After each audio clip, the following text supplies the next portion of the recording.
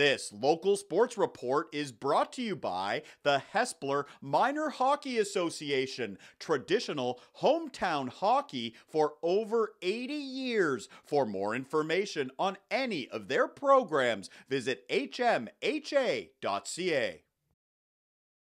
Minor Midget A hockey on Wednesday night in Fergus. The Hespeler Shamrocks on the road facing the Centre Wellington Fusion. Opening period, this is JJ Levine breaking in for the Fusion. And how nice is this goal? Levine with a terrific solo rush. He gets Centre Wellington on the board. They take a 1 0 lead. A few minutes later, more offense from CW. The rebound goes to Evan Palmer, side of the net. He scores. Palmer giving the Fusion a two goal advantage midway through the first period. To the second, here comes Hespeler. The pass over to Owen Clark. He puts it in. That's a power play marker. The Shamrocks now trailing 2 1. Back come the Fusion. Campbell Hobson with the point shot. Loose puck. Brock Redwood on the doorstep bangs it in. He restores the two goal lead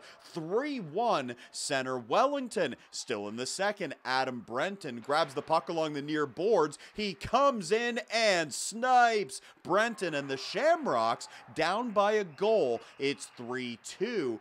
46 seconds later, Alex Ritchie in front with a redirect. Ritchie ties the game. The Shamrocks with two quick goals in the late stages of the second. It's 3 all going to the third. And the final frame starts with some sizzle. All of this happening on the same shift. Hit along the boards, then Cameron Wright knocks down his man, and moments later, Wright getting into it with Evan Palmer. A little bit of pushing and shoving. Things getting heated. Later, from the faceoff, Owen Clark with the puck, driving to the net, and he gives Hespeler the lead with five minutes left in regulation.